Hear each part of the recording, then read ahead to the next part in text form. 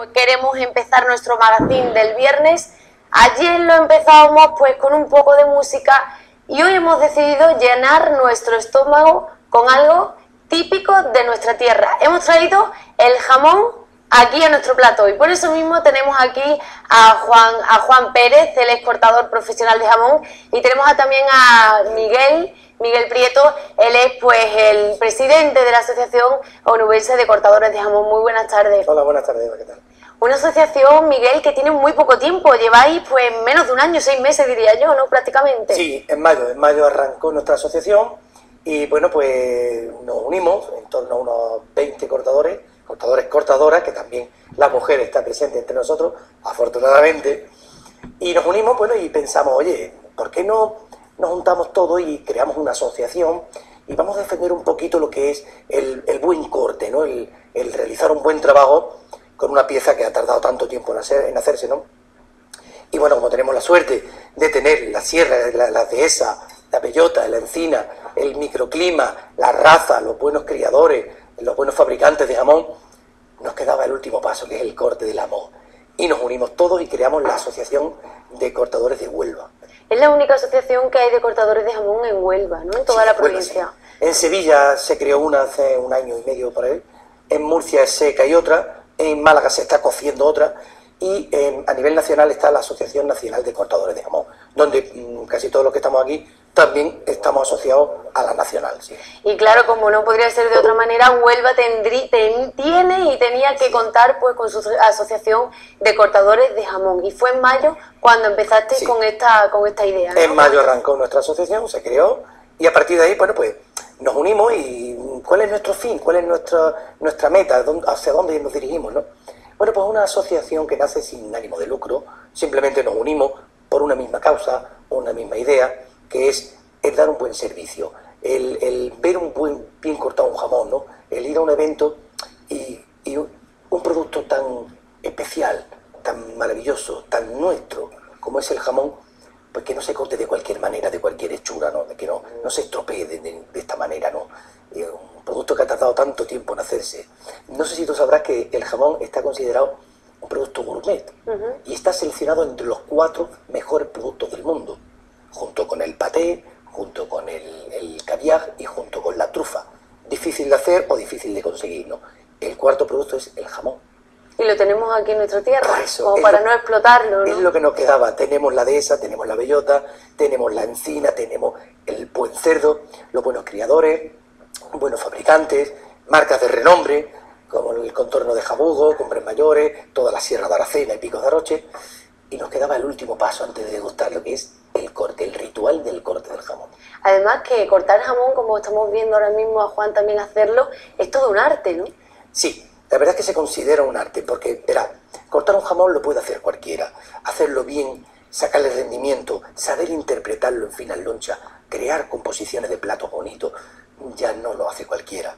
Entonces, el, corte del jamón es, es un ritual, es, es todo un ritual. Y, muchas veces da pena, ¿no? Esas veces que tú ves un jamón tan rico, que está espectacular, y de repente ves esa, esa loncha muy gordita, cortada, y tú dices, bueno, ¿esto qué es, no? Sobre todo lo diréis vosotros. Claro, porque quieras o no quieras, el, el cortarlo, el buen jamón, es muy difícil. Es difícil porque tienes que llevar una rectitud, tienes que llevar un tamaño y un grosor en la loncha, apta para el consumo, la cual cuando se introduzca en la boca la loncha, que no se nos haga una bola de carne, ni que nos sepa poco como si fuese una pequeña viruta, tiene que tener un tamaño y un grosor idóneo para apreciar todo, todo su potencia, todo su valor del, jamón, y tiene que tener pues un orden, una elegancia, una, una vistosidad, en fin, tiene que tener en cuenta muchos detalles. Que no es tan fácil como lo vemos desde fuera, que es una tarea muy complicada y todo un arte, y lo vemos, pues, por supuesto, en estos platos que nos habéis preparado aquí especialmente para nosotros, para gente con alma. Vosotros tenéis la asociación desde el mes de mayo. Sí. ¿Os reunisteis cuánto, cuántos cortadores de jamón? ¿15 sois? ahora somos en torno a unos 20 unos 20 cortadores de jamón. ¿Y vosotros hacéis eventos o participáis en eventos? ¿Cómo lo hacéis? En principio, como es una asociación sin ánimo de lucro, nosotros allá donde vamos o allá donde nos llaman, pues, no vamos cobrando nada, entiéndase. Por ejemplo, este domingo, sin ir más lejos, estaremos presentes en San Fernando, en Cádiz, en, una acción solidaria que es uh, Ningún Niño Sin Juguete. Allí nos, juntamos en torno a unos 20 o 30 jamones de toda España, cortadores de toda España, y bueno, pues de una forma desinteresada, pues aportamos nuestro granito de arena con el corte del jamón, ellos luego venden los platos y sacan dinero para, para poder eh, comprar juguetes para los niños, ¿no? El fin de semana siguiente, el del día 7, en La Umbría, allí un pueblecito muy pequeñito que está en la sierra junto a Corte Concepción, se organiza una miga solidaria. También estaremos presentes para cortar jamón de una forma gratuita para que la organización del evento saque dinero para, eh, creo que esto es para Médicos Sin Fronteras, creo que, o para Caritas, no recuerdo muy bien. En fin, en definitiva, que estamos aquí presentes. La asociación no es más que un grupo de amigos que nos juntamos y, bueno, procuramos no hacernos competencia de uno a otro, unificar tarifas de precio, eh, si yo cobro X, pues no bajes tú de aquí o no, no subas tampoco, e intentar dar un servicio, ¿no? Cualquiera que conecte con nuestro eh, perfil de Facebook, eh, pues, pues, ASOC, Onubense de Cortadores de Jamón, da con nosotros y tranquilamente pues puede contactar y a partir de ahí están todos los que estamos asociados y como no, nuestros teléfonos más para que quien quiera eh, contactar con, quien quiera, ¿no? Claro, porque con vosotros se puede contactar y ya tú eliges con qué cortador no quieres que asista a tu o evento. Dónde tengas tu o, evento. O cómo lo hacéis vosotros. Por ejemplo, te imaginas, yo llamo y yo no sé eh, qué cortadores hay en la asociación. Sí, allí ahí, ahí aparece. Ahí aparece, ya el nombre de las personas, los teléfonos, con lo cual ya tú contactas. Eh, vienen gente de, de Boyullo, cortadores, cortadoras de Boyullo, de Huelva, eh, de, la zona de, Nerva. En este caso nos, nos, acompaña Juan Antonio Pérez, que viene de San Bartolomé de la Torre. Es una joven promesa del corte del jamón, lleva poco tiempo loncheando de cara a concursos y eventos y demás, pero ha cogido una evolución impresionante. Y en definitiva lo que pretendemos es, eh, trayéndolo a él, pues así nos, nos asemejamos más o menos todo, ¿no? Hay cortadores que vienen de Moguer, otros de Nerva, otros que venimos de allí arriba de la sierra, de Aracena, de Jabugo, de Corte Concepción, en fin, que somos de Huelva y su provincia. Pero sin embargo habéis decidido tener una sede en Valverde. Sí, Valverde es un punto medio que nos cae a todo, entonces digamos que es un poco el epicentro de todo. Y Valverde pues amablemente nos cedía unas instalaciones para poder reunirnos, una habitación, donde hablamos cada mes, mes y medio, y hacemos cosas pues de cara a atraer personas que nos ayuden a formar para que nos enseñe también a afilar los cuchillos, a quien tenga más dudas. Es decir, que vosotros también hacéis como cursillos de formación. Sí, para los que estamos asociados, exactamente. Para mejorar la calidad de cara al servicio, ¿no? Y también, por ejemplo, si alguna persona que está en casa, que sea también cortador profesional, si quisiera unirse a vuestra asociación, ¿cómo tendría que hacerlo? Pues eh, llamando al teléfono que está apuntado en el perfil de nuestra, de nuestra asociación, y bueno, pues eh, pagando una cuota anual al año de 50 euros nada más, que no es más que para cubrir pues otros posibles gastillos que tengamos y demás, nada más, no, con esto no pretendemos ganar dinero ni muchísimo menos. Y dentro de nuestro servicio, pues ya contacta si tú quieres una boda, eh, quieres un bautizo, una comunión, o mismo, por ejemplo, eh, no sé, esto, que este que es el futuro, como nosotros le llamamos, que es el loncheado del jamón al vacío. Es decir, oye, mira que tengo un jamón, necesito que me lo lonche porque estoy mayor, porque es para mi niño que está estudiando, pues nada, te hacemos sobrecito, te lo loncheamos, cobramos X y ya está. Te lo llevas loncheado y envasado vacío.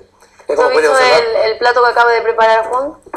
Mira sí, son platos, son platos artísticos en los cuales, bueno, pues en este caso es, la, lágrima, le llama la lágrima, pues por su similitud, ¿no? En el cual, bueno, pues las lonchas salen de la zona central, zona de maza, todas tienen, eh, eso nosotros le llamamos componer un plato con armonía. Es decir, tiene una orientación, tiene un mismo sentido, tiene un orden, una colocación y al final, bueno, pues le da con un broche de oro que es eh, el mismo tocinillo simulando una rosa, ¿no? Simulando una flor. Bueno, pues es un toque de distinción. Antes vosotros sí que teníais más trabajo quizás en bodas, ¿no? Pero ahora eh, se ha extendido a muchos otros eventos. No tienen por qué ser bodas a los sitios a los que acudís. Sí, de hecho, eh, ten en cuenta, Eva, que el, el, jamón está tan metido en nuestra cultura y en nuestra gastronomía que lleva muchos años entre nosotros. El mismo Cristóbal Colón ya lo llevaba en su barco. Y no es porque fuera muy espléndido con su tripulación, es que es un producto no perecedero. Entonces te aguanta muchísimo, ¿no? Y entonces, al estar tan metido en nuestra cultura, en nuestra ¿dónde no está presente un jamón? Si vamos a hacer una boda, un bautizo, una comunión, un evento, hasta despedidas de soltero y soltera también ya está presente el jamón. Entonces, claro, pues nos extendemos muchísimo. Y ahora ya también, como te digo, con el loncheado al vacío, sí. Eso es la última moda, ¿no? Eso es lo último que se lleva, la gente es lo, es lo que pide, ¿no? El loncheado, sobre todo para casa o, para incluso eventos también se hace así. No, principalmente para casa. Para casa o para, para, para irme de vacaciones, para mi niño mi niña que está estudiando en Sevilla, para que se lo lleve en su despensa, nada más que tiene que abrir el sobrecito por la noche. Es muy práctico. Para una persona que viva sola, para una persona mayor que no tiene eh, jamonera, no tiene tabla, no tiene cuchillo. Pues para todo ese tipo de personas va enfocado el jamón en vaso al vacío. ¿Ese sería el futuro, según sí.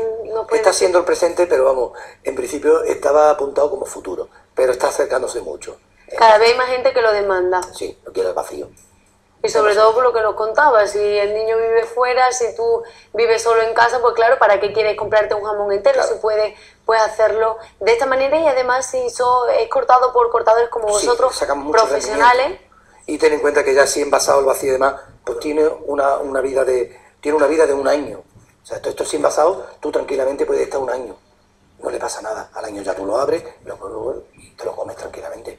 Como mucho, de este como mucho, ¿no? Entonces, claro, quiera o no quiera, es otro servicio que también ofrecemos.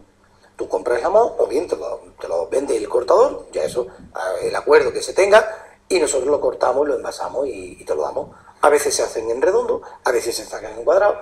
Ten en cuenta, Eva, que el jamón, una vez abierto, ya se acelera el proceso de secado.